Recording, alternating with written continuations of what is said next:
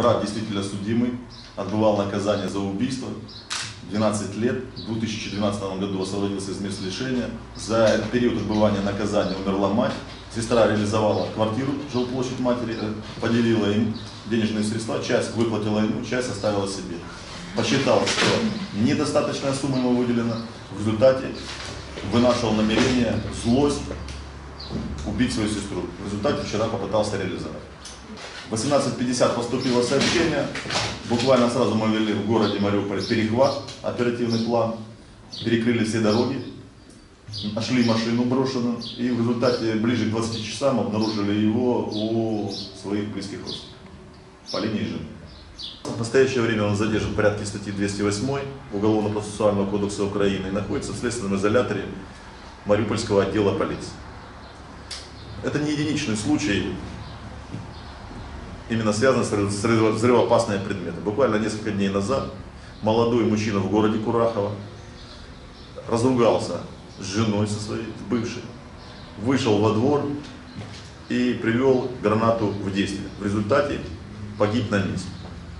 И буквально каждый день, от 7 до 10 случаев изъятия оружия, фактов мы регистрируем у нас здесь на территории Донецкой области, именно ту, которую контролируем мы.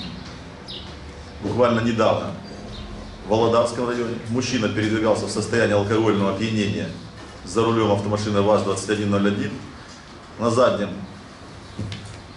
на задней половине машины под стеклом перевозил гранатомет РПГ-18 в взведенном состоянии.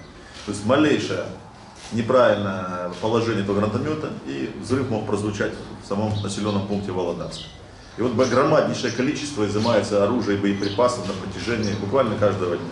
И вот за три месяца этого года из незаконного оборота уже изъято 4 пулемета, 14 автоматов, 6 винтовок, 16 пистолетов, 500 тысяч патронов, 133 гранатомета, 1822 гранаты, взрывных устройств 4 и 23 килограмма взрывчатых средств. Вот такое количество только за 3 месяца. Многие люди, опять вернусь к тому же, что я раньше говорил, не понимают, а зачем блокпосты.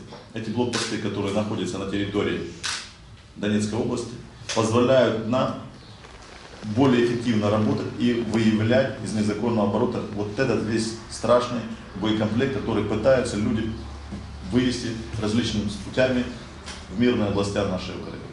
В основном все это оружие э, доставалось нашим гражданам, мирным гражданам в результате тех боевых действий, которые имели место быть на территории Донецкой и Луганской области.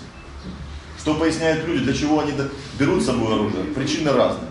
Один для самообороны, РГД-5, F1, другой РПГ-18 и все остальное везет домой для того, чтобы тоже защищаться на всякий случай. Третий в качестве сувенира.